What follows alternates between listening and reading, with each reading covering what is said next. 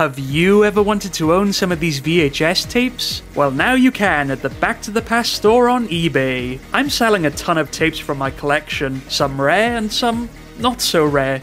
So just click the link in the description and buy a piece of the past today. Wow, I officially have 10,000 subscribers. Granted, 99% of those subscribers are probably dead accounts now, but that's not the point. Such a great milestone should definitely be celebrated, but to be honest, I'm not really sure how. I mean, 10,000 subscribers? 10? What kind of review could I possibly make that has any significance to the number 10? Well, don't you worry, my friends, because I have just the answer, and I think you all know what it is. Ben 10! Yeah, you all remember this one, right? It's that classic Cartoon Network show about a kid who gets an alien watch glued to his arm, allowing him to transform into 10 different aliens and beat up the bad guys with all kinds of wacky superpowers. And since it has the number 10 in the title, I think we should spend the next 10 hours going through every episode in excruciating detail. Okay, episode 1, and then there were 10. Get it? 10? So this one starts off with Ben Tennyson, a 10 year old boy, getting his daily 10 minutes of torment from the local school bullies, and this is a really terrible joke, isn't it? I mean, I apologise. I'm just disgusted with myself 10 times over. Alright, I know what you really want. A top 10, right? Well, since you asked so nicely, you've got it. Now, in many of my past VHS reviews, I've always tried to talk about the trailers, but you know what needs some deeper analysis? The ads. Yeah, VHS tapes are just crawling with all kinds of marketing mayhem. It's just never ending. Most of them are pretty normal stuff, but others are flat out insane. So let's take a look at 10 of the craziest VHS adverts and melt our brains in the process.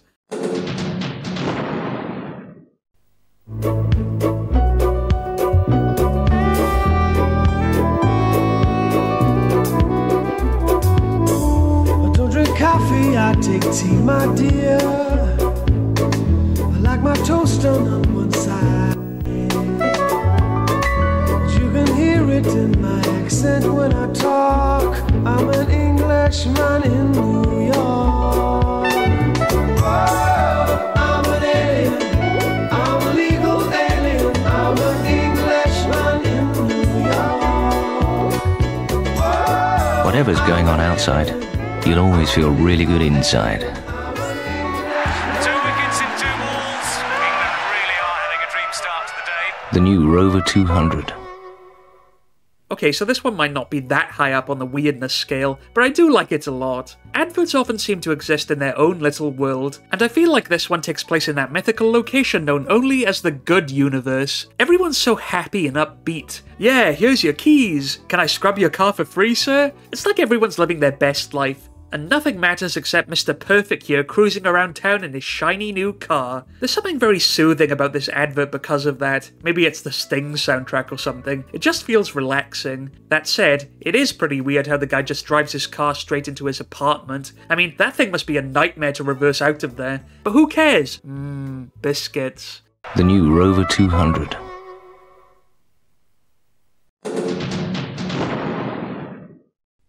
Counselor, I urge you to continue. Urge. Urge. I've got the urge. She's got the urge to herbal. She'd rather herbal in the shower for another half an hour. She's got the urge. Natural botanical. She's got the urge to herbal. Order me a couple bottles of that. Nothing can stop the urge to herbal. Yeah, maybe you can guess why this one's a bit weird. What's with the setting here? What does a courtroom have anything to do with shampoo? Counselor, I urge you to continue. Was it that line? Simply because it has the word urge in it? Did they drag up the premise of this advert just from that one tiny string of dialogue? Secondly, why does it suddenly turn into a musical? There's no rhyme or reason to it. It's not like these guys are dressed up as lawyers or anything. Who are they? The barbershop bros? Are you allowed to just have people sing a shampoo sing along right in the middle of a criminal trial? Even the judge doesn't care. Maybe this is how law works in the good universe. Everything's just a laugh. Nothing can stop the urge to herbal.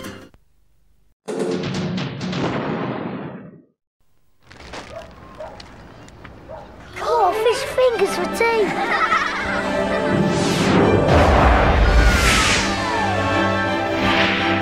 Where are we? Don't worry where you are. Follow the star! The goal's not far!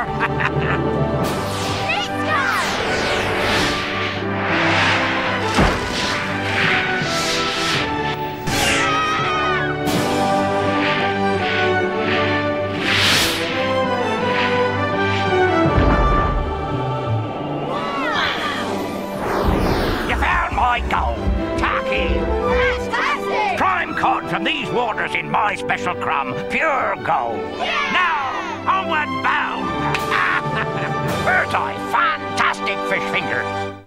Ah, Captain Birdseye, the man who made fish fingers a household name, even to the point where he'll kidnap a group of children and force them to ski through a snowy tundra just to get their hands on a box of processed supermarket food. I mean, what a bizarre setup. It's weird enough that a pack of fish fingers will teleport you straight into an icy wasteland, but why is Captain Birdseye presented as some kind of mythical figure here? Follow the star! The goal is not far! What is he, Ben Kenobi? Not to mention the fact that kids are so happy to go on this weird quest that they don't even question it. I think if someone had plucked me from my home and dumped me in the middle of nowhere, I might just be a little bit peeved. And why is there a pirate ship in the Arctic? Uh, never mind. And that's the reward? We just spent hours becoming instant experts at skiing through the ice in sub zero temperatures, and all we get is a box of fish fingers? What a rip-off! And then he just sends them home like it's nothing. Well, we never see them get home actually. Yeah, they just kind of vanish. For all I know, Birdseye has baked those kids into that box of fish fingers. I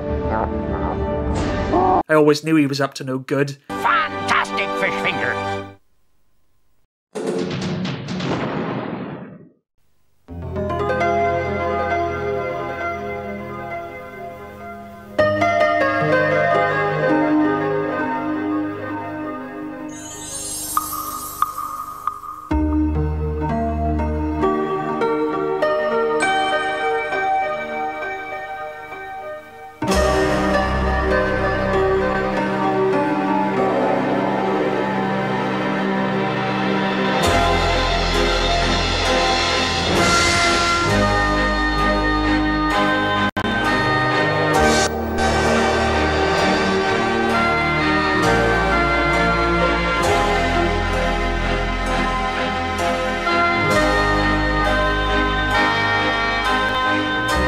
Cadbury's Flake, the crumbliest, flakiest milk chocolate in the world. Call me crazy, but I always found this advert slightly eerie the first time I saw it on an old VHS. Maybe it was the combination of seeing it alone in the dark in the middle of winter that gave me the shivers a little. At first glance, it just seems like your basic advert. A girl sitting in the bath eating a flake. I mean, that's amazing in itself, as if there's one thing guaranteed to make you messy, it's a flake. That stuff sprays everywhere, so it's already unrealistic. Still, I don't know, there's something about this girl that raises the hairs on the back of my neck. The music has a vaguely creepy quality, and the way she opens her eyes is almost like something out of a horror film. Even the whole concept of sitting in this big gothic chamber just to eat a chocolate bar doesn't sit right with me. It's presented like some kind of demented ritual, like in eating the flake, she's selling her soul. Seriously, just look at her. She doesn't care about life anymore. She just sits there in the bath waiting for the whole room to flood. When the camera pans away, I'm almost expecting blood to start pouring under the door. And why are there roses on the floor here? Did she kill her husband before this or something? Is she a murderer? See, this ad really is creepy. Cadbury's Flake, the crumbliest, flakiest milk chocolate in the world.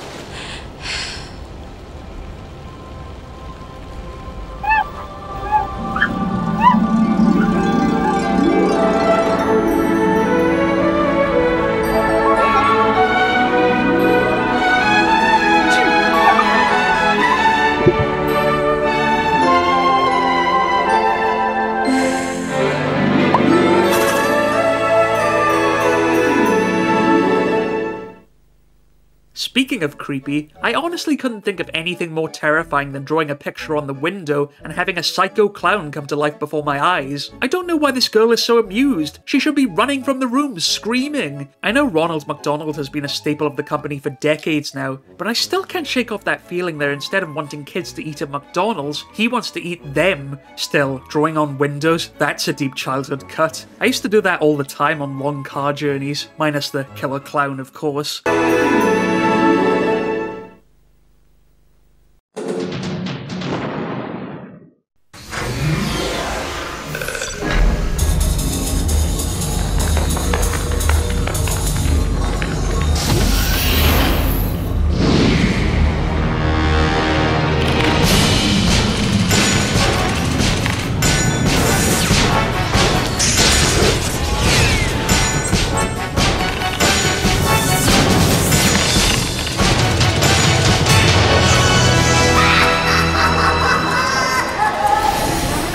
Hey, Cartoon Network, what's crazy about that? Well, everything. Just look at Dexter in this ad. He's completely lost it. This used to be the kid who came up with amazing inventions and saved the future, but now he's a crazy psychopath who's kidnapped all your favorite Cartoon Network characters and trapped them in floating jars of ooze. No one is spared from his evil. His sister, Courage the Cowardly Dog, Ed, Edd and Eddy, even the Powerpuff Girls. Yes, he's knocked out the Powerpuff Girls. That's just sick. What is this cruel contraption anyway? Some kind of soul sucking device for innocent cartoon characters? Maybe this is Dexter's ultimate plan to enslave all the competition. And look at the way he's laughing evilly at their pain. It's disturbing. If this was meant to be the original ending to the series, then it's one messed up conclusion. I'll never look at this kid in the same way again.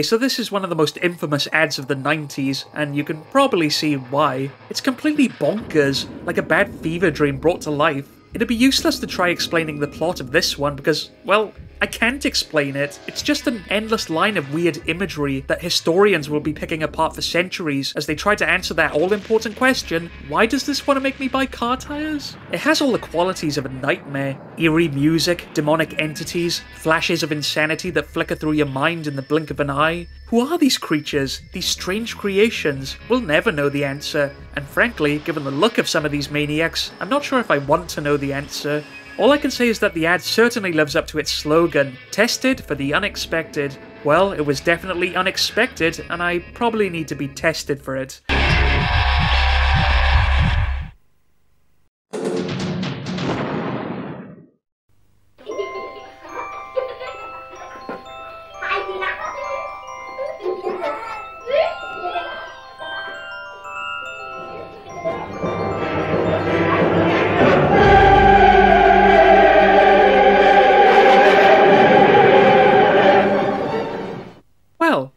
Pleasant. This is exactly the kind of advertising that makes me want to spend all my money on a can of fizzy pop, a demon chud looking to consume my soul. Just imagine trying to watch this as a child. It looks like some kind of innocent preschool commercial, but then it suddenly turns into Damien here unleashing his wrath on the whole classroom. It just comes out of nowhere. What's up with this ad? Who was it meant for? At the end, it just says different. Different from what? Different from other drinks? Is that what they were going for? By taking the company in a unique devil worshippers angle? We're marking ourselves out as the most original drink in town? Well, I guess I can't argue with that. Even the can at the end is upside down. This ad needs an exorcism, and I think if I watch this for any longer, I'm gonna sprout devil horns myself.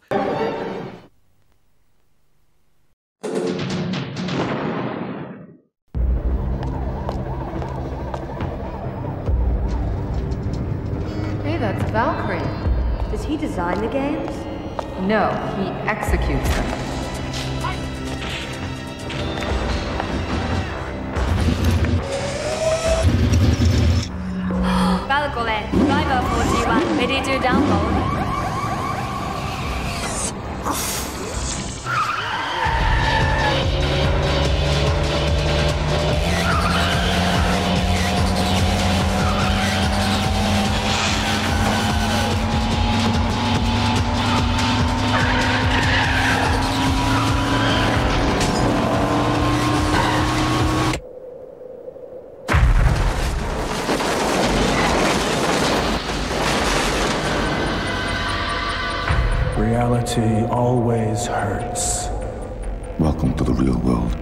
Sega Saturn. Just when you think it can't get any worse, I can only describe this one as taking place in some kind of dystopian Sega land, a world where the 90s never died and being edgy is the norm. I almost wouldn't be surprised if Shadow the Hedgehog was running this place. Instead, it seems like this guy is in charge, taking control of other people and using them as pawns in his depraved video games, which somehow involve getting your eyes sucked out in order to play them. You know, I'm beginning to see why the Sega Saturn wasn't a great success in the 90s. If you had to pop out your eyeballs just to play a game, no wonder it flopped. I mean, how was this supposed to make the console look appealing? It's gruesome. If I saw this when I was six years old, I would have slept under the bed for the rest of my life. In fact, at that age, I used to be scared of the Atari Jaguar or that hellish PS2 error screen, so imagine what this piece of nightmare fuel would have done to me. Aye aye aye. Welcome to the real world, Sega Saturn. You found me. Dr. Chessington, that's it. Want to see my world of adventures? So many lands, you know, and each more fantastic, more amazing than the last. It's simply bursting with fun. Fun. Fun. The thing is, you see, I can't stand boredom. And I have to keep an eye on everything. And one thing I can see is you need a trip to my world of adventures, yes. Just ask for Chessington and we'll go for a little spin. Introducing the world's sickest mad scientist, Dr. Chessington. For those of you who might not know, Chessington World of Adventures is a theme park in the UK. In fact, they were giving out free tickets to this place on the VHS of the Power Rangers movie in a previous episode, but if they'd had this advert on the tape instead of that one, I would have wanted to pay not to go there. I mean, who is this guy? He's a complete nutcase, watching over the park like every area is his own personal torture chamber. His laugh at the end just creeps me out. and what's going on with the effects here? His head spinning around, popping off his shoulders, and the less said about his eyes, the better.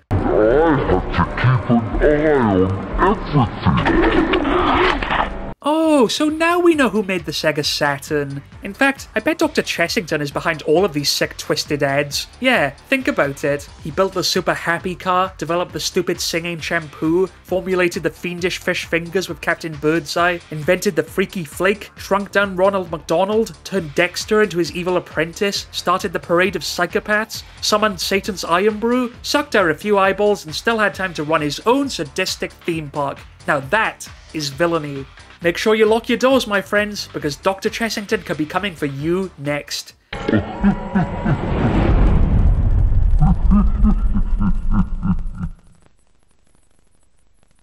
Well, that's it for this countdown of craziness. And what a fitting way to celebrate 10,000 subscribers, with 10,000 reasons never to sleep ever again. Thanks for watching this video, and look out for more reviews coming soon. My eyeballs nearly popped out.